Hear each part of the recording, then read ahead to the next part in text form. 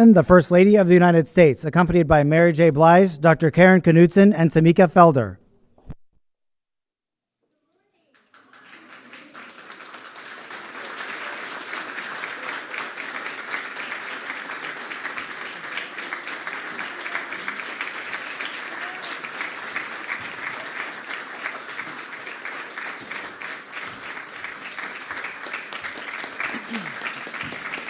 Thank you.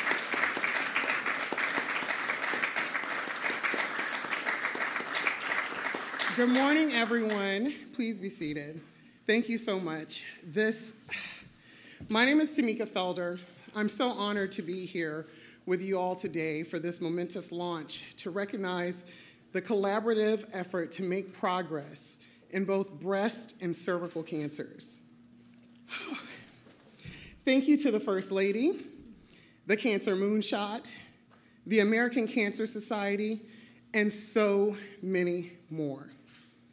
As someone who has been touched by cancer in so many ways, I am beyond touched by the commitment to health equity and the inclusion of survivors and advocates as members, as well as in the National Roundtable on Cervical Cancer Leadership. I am so grateful.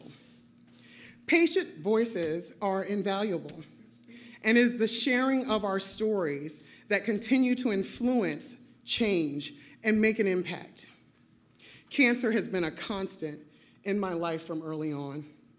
My father died of colon cancer the day before my 17th birthday. He was my very best friend.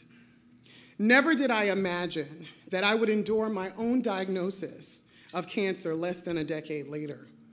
I was diagnosed with cervical cancer in 2001 at the age of 25. I endured a radical hysterectomy, followed by chemotherapy and radiation therapy. They were tough, but I'm so thankful that I didn't succumb to cervical cancer. But I did lose my fertility.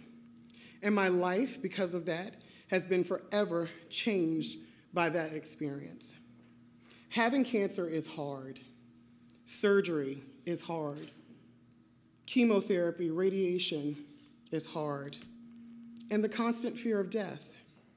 I survived it, but not without the residual effects that are life lasting. There are no easy cancers, and they all matter. When I was diagnosed, I felt alone. There were no other cervical cancer patients and survivors sharing their stories, and accessible information was scarce. I did something about that. I created what I wish I had an organization called Cervivor, by survivors, run by cervical cancer survivors. And it is our mission to empower, motivate, and train patient advocates to use their stories to do what we're all here to do today make progress in cervical cancer and the breast cancer space. Simply, we all collectively are working to ensure that no woman feels alone. That is a goal shared by these roundtable launches, the Cancer Moonshot, and the First Lady. As I stand here with you all, I can't help but think about all people diagnosed with cancer.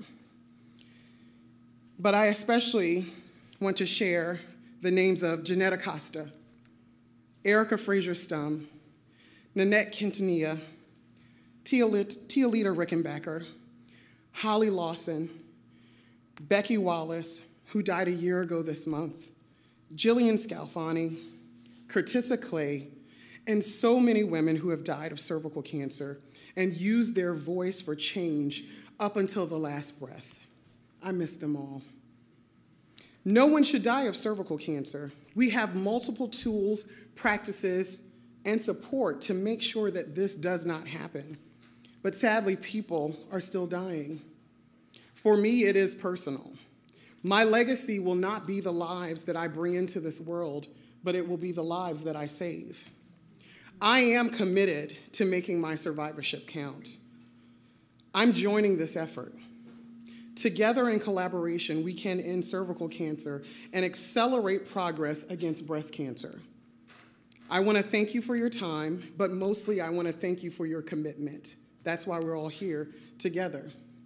I now have the honor of welcoming recording artist and preventive cancer screening advocate, Miss Mary J. Blige.